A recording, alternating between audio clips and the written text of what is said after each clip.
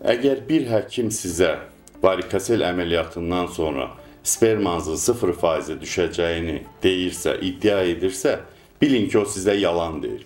Çünki cəmiyyətdə o qədər çox varikosel xəstəliyi var ki, belə deyim də, kişilər sonsuzluq yaşayan kişilərin, yəni uşağı olmayan kişilərin təqribən 50%-nə yaxında varikosel problemi var.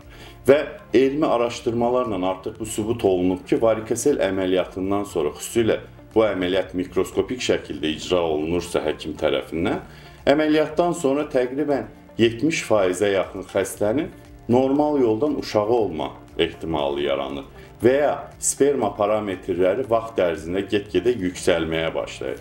Yəni ki, kimsə sizə həkim də olsa bu insan deyirsə ki, varikosel əməliyyatı olacaqsan, sperman sıfır olacaq, heç uşağın olmayacaq.